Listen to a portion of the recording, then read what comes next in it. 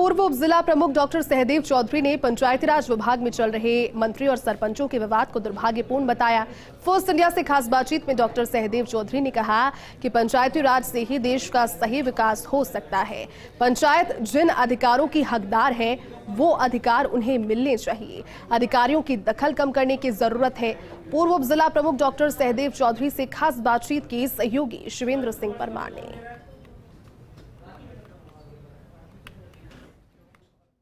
पंचायती राज विभाग में इन दिनों सब कुछ ठीक नहीं है। सरपंच और मंत्रियों के बीच विवाद छिड़ा हुआ है। इस स्थिति में फ़र्स्ट इंडिया ग्राउंड रिपोर्ट जानने अलग अलग इलाकों में निकला है और आज मैं नागौर में हूँ। नागौर वो जगह जो पंचायती राज की नींव जहाँ से पूरे देश में रखी गई। और मेरे साथ बात करने के लिए मौजूद हैं नागौर के उप जिला प्रमुख डॉक्टर सहदेव चौधरी, जो कि पंचायती राज में बहुत लंबा अनुभव रखते हैं। उनसे हम बातचीत करेंगे इस मसले पर। सर, पंचायती राज विभाग में इन दिनों, जैसा मैंने शुरुआत में कहा, कि विवाद की स्थिति है, टकराव है सरपंच और पंचायती राज मंत्री के बीच। इसको किस तरह से देखते हैं ऐसा है, पंचायत राज के अंदर सरपंच और मंत्री मिलकर ही पंचायत राज बनता है। इसलिए टकराव जैसी कोई स्थिति है नहीं। और हमारे यहाँ जब मंत्री जी आए थे तो मैं, सारे सरपंचों ने और हम सबने उनका स्वागत किया था। और जो कोई स्थिति पैदा हुई है, वो किसी भ्रम के कारण हुई है। और मैं समझता हूँ, समय के साथ वो सब चीज़ें ठीक होगी, मंत्री जी भी समझदार हैं और सरपंच भी सब समझदार हैं। और पंचायत राज जो है, ग्रामीण क्षेत्र का एक बहुत बेहतरीन तंत्र है और नागौर ज़िला जो है, इस सब में अग्रणी रहा है, क्योंकि नागौर ज़िले के से ही पंचायत राज की शुरुआत हुई थी और यहाँ के लोग पंचायत राज में बहुत ज़्यादा विश्वास रखते हैं, बहुत एक्टिवली पार्टिसिपेट करते हैं और उन्होंने पंचायत राज को जो है अच्छी तरह से समझ रखा है। यहाँ पंचायत राज की जितनी भी स्कीम है, वो बहुत ज़ोरदार ढंग से जो है ज़िले में चलती हैं और सारे लोग रुचि लेते हैं। हमारे यहाँ के जितने भी सरपंच हैं, मैं समझता हूँ वो सारे के सारे जो है अपवाद तो मैं कहूँगा नहीं, बाकी सरपंच लोग और पंचायत राज की सारी व्यवस्था के अंदर पंच, पंचायत समिति सदस्य, जिला परिषद सदस्य, प्रधान, जिला प्रमुख, सारे लोग मिलकर के और काम करते हैं। और जिसकी वजह से ही आज ज़िले के अंदर जो पंचायत राज की स्कीमें हैं, उससे जनता को बहुत फ़ायदा हुआ है। आज जैसे मैं बात कह रहा हूँ, जो अभी पिछले दिनों बात चली थी नरेगा के बारे में, मैं नरेगा के लिए कहना चाहूँगा कि नरेगा एक पंचायत राज का भारत सरकार, जिस टाइम पे मनमोहन सिंह जी प्रधानमंत्री थे, एक बहुत बढ़िया स्कीम इन्होंने लॉन्च की। रूरल हमारा जैसे ज़िला है, ये ज़िला जो है एक्चुअली इरीगेटेड ज़िला नहीं है अनइरीगेटेड इसमें 90 परसेंट एरिया अनइरीगेटेड है 10-15 परसेंट ट्यूबवेल इरीगेशन है। नहरी इरीगेशन है नहीं। तो यहाँ के लोगों को रोज़गार की बहुत बड़ी ज़रूरत थी। और ये रोज़गार की स्कीम जो है नरेगा के अंदर, नरेगा की स्कीम ही रोज़गार के लिए। और यहाँ के ज़्यादातर लोग, यहाँ नागौर के अंदर करीब करीब जो है मतलब करीब करीब पौने छः लाख लोग इसके अंदर रजिस्टर्ड हैं। और एट ए टाइम करीब करीब तेरह लाख लोग जो है, इसमें काम करते हैं। जिससे हमारे गाँव की महिलाओं का और एससी का एसटी का, सारी तरह के वर्ग को जो है इससे बहुत बेनिफिट हुआ है। दूसरा जो नागौर ज़िले के अंदर पानी की भयंकर कमी है और इस कमी की में जो नरेगा की स्कीमें आई है, जिसके अंदर टांके के लिए मैं ख़ास तौर से कहना चाहूँगा, क्योंकि टांके जो है वो हर घर में बने और उससे लोगों को आज पीने के पानी की भयंकर समस्या का जो है समाधान हुआ है। और लोग जो आजकल अभी तक पानी के लिए दर दर ठोकरें खाते थे, घर में टांका बनने से उनको बहुत रिलीफ हो गई। और लोगों को जो है पानी लाने के लिए, नहर का पानी जो आ रहा है, वो कभी आता है, कभी नहीं आता, बहुत दिक्कत है और नीचे का पानी खा रहा है। तो लोगों ने जो है इसका बहुत अच्छा बेनिफिट उनको मिला है। इसके अलावा नरेगा के साथ साथ जो दूसरे काम हुए हैं, सड़कें, गाँव के अंदर इतना अच्छा नरेगा का काम हुआ है कि आज आप ब्लॉक देखेंगे तो गाँव जहाँ पहले कादा, मिट्टी चलना ही नहीं हो पाता था गाँव की गलियों में, वो सब जगह, ज़्यादातर गाँवों में पक्के ब्लॉक लग गए। जिससे लोगों को जो है बहुत रिलीफ मिली है। तो मेरा ये मानना है कि नरेगा से एम्प्लॉयमेंट का बहुत बड़ा फ़ायदा हुआ है। नरेगा से जो है इंफ्रास्ट्रक्चर क्रिएशन के अंदर बहुत मदद मिली है। अपवाद स्वरूप मैं ये नहीं कहता कि भाई जो है सब जगह हंड्रेड परसेंट है। कई जगह अपवाद हो सकता है कि कुछ छोटी मोटी गड़बड़ भी हुई हो, क्योंकि इतनी बड़ी व्यवस्था है। ये अपने आप में अगर दूसरी किसी योजना के तहत काम कराएँ तो इतना काम जो है जितना नरेगा में हुआ है, उतना किसी योजना में नहीं हो सकता। ये मेरा चैलेंज है। क्योंकि इससे करीब करीब साल भर के अंदर, जैसे पिछले साल है, करीब करीब इक्कीस, बाईस के अंदर, इन्होंने जो है करीब सवा छः सौ करोड़ रुपए खर्च किए हैं, जिसमें से चार सौ चौरानवे करोड़ इन्होंने मजदूरों को पेमेंट किया है। तो चार सौ चौरानवे करोड़ रुपया जब पेमेंट मजदूरों को हुआ है, जिसमें सेवेंटी परसेंट करीब करीब महिलाएँ हैं, जिसमें से तीस परसेंट जो है शेड्यूल कास्ट है, जो एक बहुत बड़ा नंबर है। तो आप समझ लो कि महिलाओं के पास में कितना पैसा आया है, गाँव के अंदर महिलाओं को पैसा मिलता ही नहीं है। नरेगा ही एक ऐसा है जिसने क्या है कि लोगों की ज़िंदगी बदल दी। उनके घर की सारी समस्याएँ खत्म हो गई, वरना उनको छोटी छोटी चीज़ों के लिए, पैसे के लिए तरसना पड़ता था।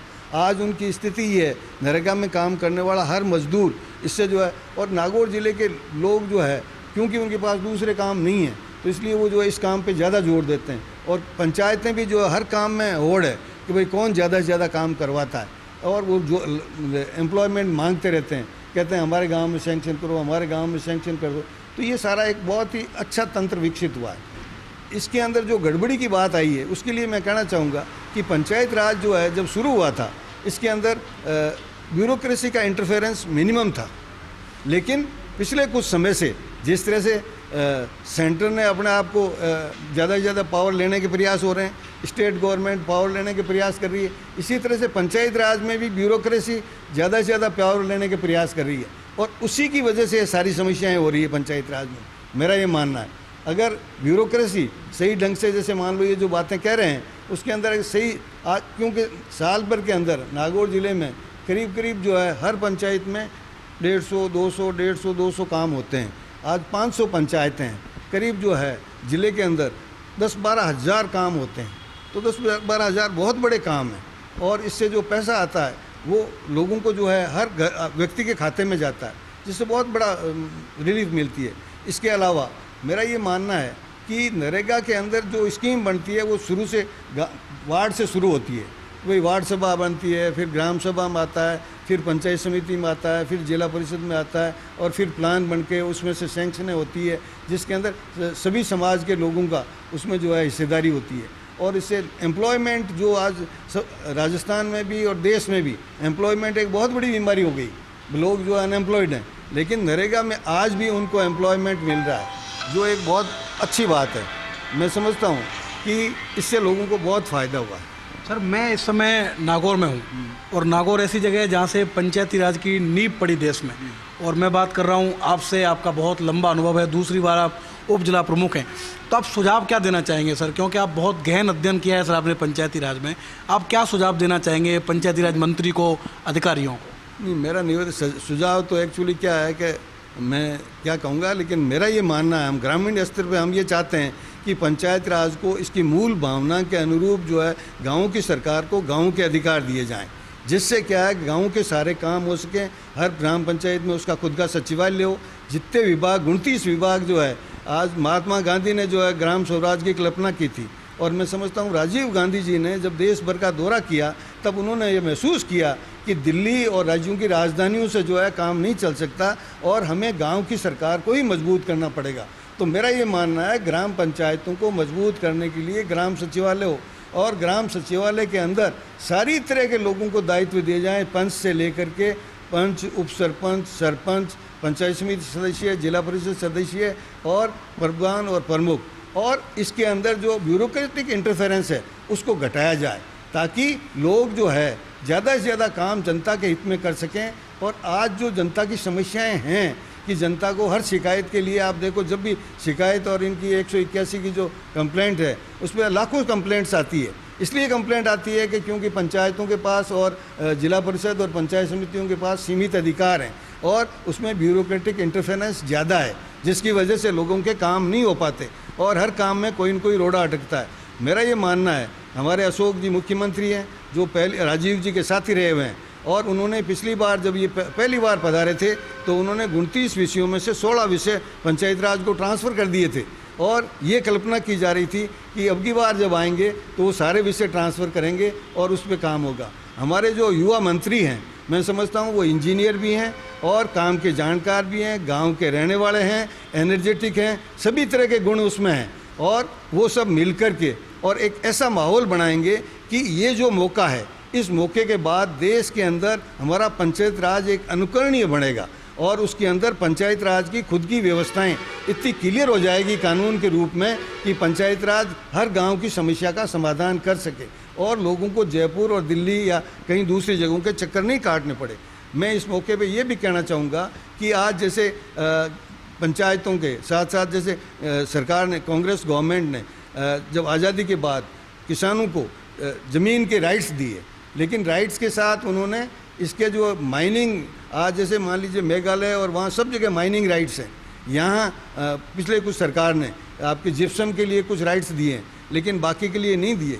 तो मेरा ये मानना है कि आज बड़े उद्योगपतियों की बजाय गाँव के जो लोग हैं, युवा हैं, और जो गाँव के लोग हैं और गाँव की ज़मीनें हैं, जिसके अंदर हमारे नागौर ज़िले में मैक्सिमम मिनरल है तो ये जो है, ये भी पंचायतों को देख करके और ग्रामीण युवाओं को बेरोजगारी ख़त्म करने के लिए और दूसरे जितने भी लोग हैं ग्रामीण क्षेत्र के, उनको उद्योगपति बनाएँ। अभी सरकार क्या कर रही है कि एक्चुअली ग्रामीणों की ज़मीन छीन रही है और बड़े उद्योगपतियों को दे रही है नागौर ज़िले में। हमारे यहाँ कई कंपनियाँ आ गई, अंबुजा सीमेंट आ गई, जिन्होंने हज़ारों लोगों को बेकार कर दिया, बेरोजगार कर दिया।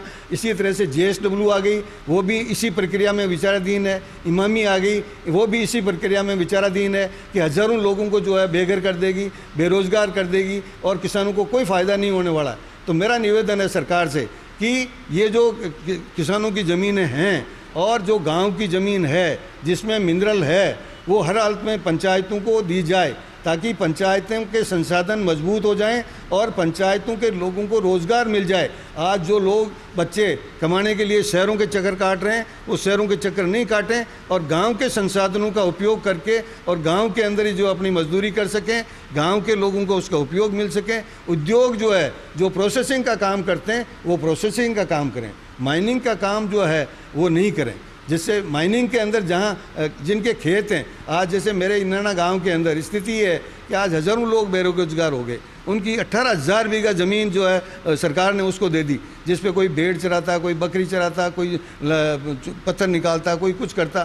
तो हमारा निवेदन है कि सरकार को इस पूरे तंत्र को, पंचायत राज को रिव्यू करना चाहिए और पंचायतों को ज़्यादा से ज़्यादा अधिकार देने चाहिए। पंचायतों को रोज़गार के लिए काबिल बनाना चाहिए। पंचायतों को संसाधन उपलब्ध कराना चाहिए, पंचायतों को स्टाफ उपलब्ध कराना चाहिए और लोकल रोज़गार लोगों को मिले, इसके बारे में चिंतन करना चाहिए। आज हमारे यहाँ जगह जगह हाईवे निकल रहे हैं, लेकिन उनके पड़ोस में जो है हज़ारों बीघा ज़मीन पड़ी है।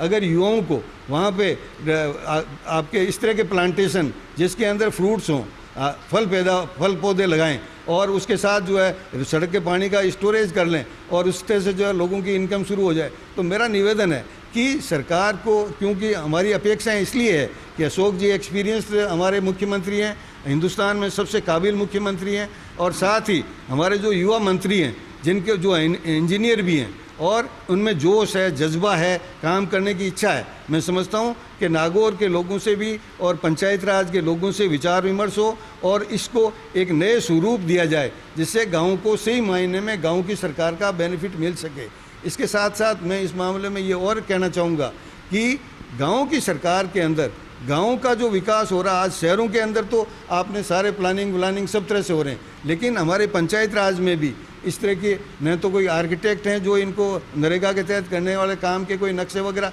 प्रोटोटाइप दे दिए, जिससे लोगों को पता ही नहीं लगता। और इस तरह के लोगों को दिया जो अनएक्सपीरियंस्ड है, जिससे काम में कई बार कमियाँ रहती हैं, हम देखते हैं, क्योंकि सक्षम लोग नहीं हैं। तो मेरा ये मानना है कि पंचायतों के या जिला परिषदों के पास आर्किटेक्ट कौन कौन से काम किस तरह के होंगे, क्या होंगे, इसके लिए व्यापक डिस्कशन होना चाहिए। और नरेगा का जो करोड़ों रुपए का बजट जो भारत सरकार ने एक कानून के तहत दिया है, मेरा ये मानना है कि नरेगा को जिस कानून के तहत दिया है, जिसकी वजह से आज देश इतने दिन से जो अनएम्प्लॉयमेंट में आगे रहा है, क्यों अनएम्प्लॉयमेंट कम हुआ इससे? क्योंकि वो कानून के तहत पैसा आता है। आज 75 परसेंट पैसा जो है सेंट्रल गवर्नमेंट देती है बाकी का जो स्टेट गवर्नमेंट देती है और उससे लोगों को जो है डायरेक्टली बहुत फ़ायदा हो रहा है। तो इस तरह से जो है पंचायतों को जो है ज़्यादा से ज़्यादा बेनिफिट हो। एक सर आखिरी सवाल और मेरा। आपने सरकार को सुझाव दे दिए सीएम को दे दिए पंचायत राज मंत्री को दे दिए। सरपंचों को आप क्या अपील करना चाहेंगे सर जो डूंगरपुर से लेकर धौलपुर तक निवेदन ये है कि सरपंचों के अंदर मेरा निवेदन है कि पंचायत राज की जब व्यवस्था का रिव्यू होगा तो हम लोग ये चाहते हैं कि सरपंच भी युवा हैं। और सब लोग ज़्यादा से ज़्यादा अच्छा काम करना चाहते हैं तो उनको असिस्टेंस प्रोवाइड की जाए, उनको मार्गदर्शन प्रोवाइड किया जाए, उनके अंदर कंपटीशन की भावना पैदा की जाए। आज हमारे हज़ारों गाँव ऐसे हैं, जिनके अंदर हो सकता है कि मंत्री जी की रिपोर्ट में कई जगह खराबी आई हो, मैं नहीं जानता, लेकिन हमारे ध्यान में हज़ारों गाँव ऐसे हैं, जिनके अंदर बहुत बढ़िया काम हुआ है, और अगर मंत्री जी और उनकी टीम देखना चाहे तो हम वो काम दिखा भी सकते हैं। हम चाहते हैं कि हमारे जो अच्छे लोगों ने काम किए क्योंकि आज हम नागौर ज़िले के लिए इसलिए चिंतित हैं कि नागौर ज़िले के लिए ये कहा जा रहा है कि नागौर ज़िले में घोटाला हुआ है। मैं नहीं कहता कि नहीं हुआ, लेकिन मेरा ये मानना है कि ये सत्य नहीं है। हो सकता है कि अपवाद स्वरूप कुछ हुआ हो, है, या उनके ध्यान में आया हो। हम लोगों के ध्यान में शायद नहीं आया हो। लेकिन हमें इसको जो है थ्रस्ट करने की बजाय नागौर के जो सरपंच हैं जो बहुत एक्टिव हैं, बहुत मेहनती हैं, बहुत काम करने वाले हैं और मैं समझता हूँ अगर उसकी एनर्जी का, जिस तरह से एनर्जी की हमारे मंत्री जी की एनर्जी और साथ का साथ सरपंचों की एनर्जी दोनों मिलकर के अगर काम करते हैं और बाकी जो पंचायत राज के लोग हैं, चाहे प्रधान हैं, चाहे पंचायत के सदस्य हैं, चाहे पंचायत समिति सदस्य हैं, चाहे जिला परिषद सदस्य हैं, सबका सहयोग लेकर के काम करेंगे तो स्थितियाँ अलग होगी। मैं यहाँ एक ये बात भी कहना चाहूँगा, आज देश के अंदर, किसी भी व्यवस्था के अंदर बिना पैसे काम करने वाला कोई कर्मचारी कोई होगा तो वो आपका पंचायत राज का जनप्रतिनिधि है। जनप्रतिनिधि के अंदर पंच को कोई पैसा नहीं मिलता, पंच उप प्रधान उप सरपंच को कोई पैसा नहीं मिलता। सरपंच को जो है, महीने के तीस रुपये नहीं आपके, क्या नाम, तीन सौ अड़तालीस सौ रुपये महीने का ऑनरेरियम मिलता है, हैं? प्रधान और इनको, प्रधान प्रमुख को दस हज़ार रुपये मिलते हैं, तीन सौ रुपये रोज़। और बाकी किसी को कोई पैसा नहीं मिलता। नगर पालिका के अंदर 500 वोट लेने वाला आदमी को जो है, आठ से दस हज़ार रुपये मिलते हैं। और यहाँ नागौर, यहाँ हमारे पंचायत राज के अंदर जिला परिषद सदस्य जो पचास हज़ार वोटों का मालिक होता है और जो दस से पंद्रह पंचायतों के चुनाव लड़के आता है, इसी तरह से जो है पंचायत सदस्य जो तीन पंचायत, चार पंचायतों का चुनाव लड़के आता है। और आपका पंच तो मैं समझता हूँ सबसे मुश्किल चुनाव है। जिसको लोग लड़के आते हैं और वो जनता का काम करने के लिए आते हैं। मैं समझता हूँ इस तंत्र को मज़बूत करने की आवश्यकता है, उनकी जो समस्याएँ हैं, उनको सुनने की आवश्यकता है और गाँव की समस्याओं को एंडोर्स करने की ज़रूरत है। ये समय आ गया है, आज जो सरकारें चिंतन कर रही है कि हमारी हार का या हमारी जीत का क्या कारण है, मैं समझता हूँ ये ग्रामीण जनता ही है, जो सारा कुछ जो है, उनको जब तकलीफ़ होती है तो नाराज़ हो जाते हैं। हैं? तो मेरा ये मानना है, पंचायत राज की व्यवस्था को अगर मज़बूत किया जाए, जो कि हमारे जो मंत्री और हमारे मुख्यमंत्री जी और हमारे बाकी पंच, सरपंच, सारे लोग मिल कर के और एक व्यवस्था को जन्म दें, जो एक अनुकरणीय हो, अनूठी हो, जिससे क्या है, पूरे देश के तंत्र का जो है विकास हो और उसके अंदर हिंदुस्तान का नक्शा बदल दे। अगर गाँव का नक्शा बदलेगा, तभी जाकर के देश का नक्शा बदलता। आप जितने भी हमारे इकोनॉमिस्ट हैं, जितने भी हमारे बुज़ुर्ग, चाहे प्रधानमंत्री रहे हों, उन सबने हमेशा यही बात कही है कि हिंदुस्तान की तरक्की का रास्ता गाँव के होकर निकलता है। तो गाँव की तरक्की ज़रूरी है, गाँव के लोगों का विश्वास ज़रूरी है, गाँव के लोगों, वहाँ शिक्षा ज़रूरी है, वहाँ आपके शहर की सारी सुविधाएँ वहाँ ज़रूरी है, ताकि गाँव से भीड़ शहर में नहीं आए और गाँव का विकास पूरी तरह से होगा, तभी जाकर के देश का विकास होगा। ये मेरा आप लोगों से निवेदन है, सरकार से भी निवेदन है कि इस तरफ़ अगर बढ़ा जाएगा, तभी जाकर के होगा। समस्या सरपंचों ने भी अपना मांग पत्र दे रखा है। मैं समझता हूँ सरकार उस पर संपादित आपके पैंतीस मांगे उन्होंने रख रखी हैं। उन पर जो है सहानुभूतिपूर्वक विचार करेंगे और हम सब मिल कर के हमारे मंत्री जी के नेतृत्व में और हमारे सरपंचों के सहयोग से, हमारे बाकी जनप्रतिनिधियों के सहयोग से, अशोक जी के नेतृत्व में, सारे मंत्रिपरिषद के सहयोग से हम लोग जो है, गाँव की विकास की कायाकल्प कर सकें, यही मेरी इच्छा है। तो ये है नागौर के उप जिला प्रमुख डॉक्टर सहदेव चौधरी, जिन्होंने पंचायती राज विभाग में जो मौजूदा विवाद है और पूरी जो प्रक्रिया है विभाग की, उस पर अपने विचार साझा किए फ़र्स्ट इंडिया से। और उन्होंने मुख्य तौर पर कहा है कि पंचायती राज विभाग में जो अधिकारियों का हस्तक्षेप है, वो कम होना चाहिए। और पंचायती राज से जुड़े हुए पंच, सरपंच, जिन अधिकारों के हकदार हैं वो अधिकार उनको मिलने चाहिए। कैमरामैन गिरीश के साथ Shivendra Pratap Singh Parmar, first India news, Nagaur. चलिए